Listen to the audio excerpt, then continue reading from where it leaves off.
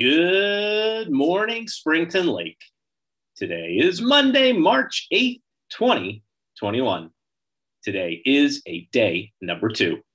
At this time, would you please rise and join me in the Pledge of Allegiance? I pledge allegiance to the flag of the United States of America and to the Republic for which it stands, one nation, under God, indivisible, with liberty and justice for all. A very good Monday morning to everyone. I hope that you're all doing well and that you all had an enjoyable weekend. It certainly was nice out this uh, weekend. We have a bit of an abbreviated week of school, so please pay attention to the important details. Now, as I mentioned a moment ago, today's a day number two. Tomorrow will be a day number three, and Wednesday will also be a day number three. So we have a day number two, followed by a double day number three. Now, on Wednesday, we'll be having a flexible instructional day so that your teachers can spend some time planning for the rest of the year and setting up their classrooms for the possible return of more students. So everyone will be learning from home on Wednesday. You'll log on for a live homeroom at 9:30 a.m.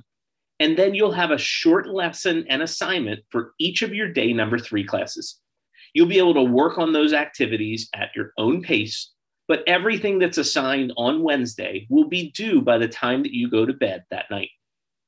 Now, on Thursday and Friday, there is no school for students. We have parent teacher conferences. So you'll have an extra long weekend to enjoy. As I shared with you on Friday, exciting news for the spring sports season. We are cleared for takeoff and we are moving forward with the season. We have several schools that have expressed an interest in competing with us this spring. So that's really good news. So, what now? Well, two things that you can do to be ready for April 5th. First, get that sports physical. Completed PIAA forms for the spring sports season are due by Friday, March 26th. Second, sign up.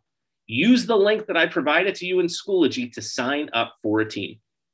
The sign up will be used to provide your coach with a list.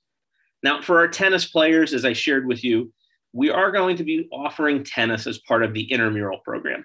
Unfortunately, none of the schools that we're competing against this spring will be having a tennis team. So stay tuned for more details about tennis as well as the other intramural offerings. We'll be sharing that with you in the coming weeks.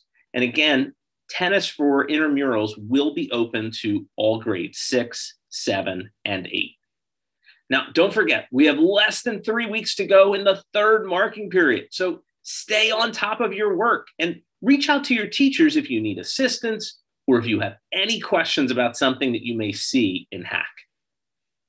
Since you'll have a little bit of extra free time this week, listen up to this announcement from Students Against Destructive Decisions about a contest that you can enter. And yes, there are prizes.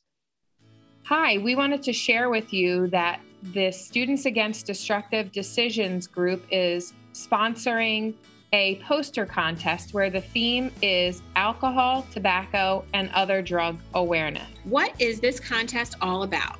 Students Against Destructive Decisions, or SADD, is sponsoring Holcomb Behavioral Health System's 33rd annual ATOD Awareness Poster Contest.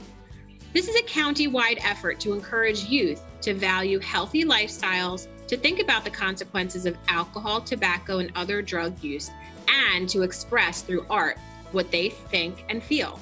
Winners receive awards, public recognition, and will be featured along with their posters in the 2022 calendar. Here is what you need to do posters need to have positive themes. The message this year is about not doing drugs, tobacco, alcohol, or vaping. Here are some ideas of what to draw. Healthy ways to deal with stress, resisting peer pressure, tobacco slash vape free me, friends helping friends make healthy choices, I have better things to do than drugs, choose healthy activities instead, take a stand against drugs, and healthy minds, healthy bodies. The prizes are for the best overall, a $200 gift card, For the best art, a $200 gift card. For the best message, a $200 gift card. And for grades 6 through 8, the first prize is an $100 gift card. The second prize is a $75 gift card. The third prize is a $75 gift card. And the fourth prize is a $75 gift card. Poster guidelines. No names directly on posters. Name, address, phone, and grade must be written on a post it note on the back of the drawing. Posters must be drawn with markers, crayons, colored pencils, or ink pens. Be sure to press down hard so the color stands out. Posters should reflect students' original messages. Ideas copied from published posters or past ATOD awareness calendars will be immediately disqualified. Posters should be colorful and contain simple, clear messages. Violent scenes, brand names, and copyrighted images, characters from cartoons or TV, will be disqualified. Posters must be drawn on white 8.5 x 11 paper, landscape orientation 11 side horizontal. Any other size art will, will be immediately disqualified. Posters with misspellings will be immediately disqualified, so if needed, ask for help on grammar or punct- punctuation before submitting. How you would submit. If you're interested in submitting to this contest, please include your name and grade on a post it note and attach it to your submission. You can turn in your submission to the main office by Friday, March 12th. If there are any questions, please contact Mrs. Devasai or Mrs. McGow. Okay, Spartans, let's do this. Make the most of this shortened week. Work hard and be a little extra kind to one another. And of course, keep practicing those safe habits. Mask up, wash up, and back up. This concludes our announcements for today. I thank you for your attention. And as always, let's make it a great day or not. The choice is yours.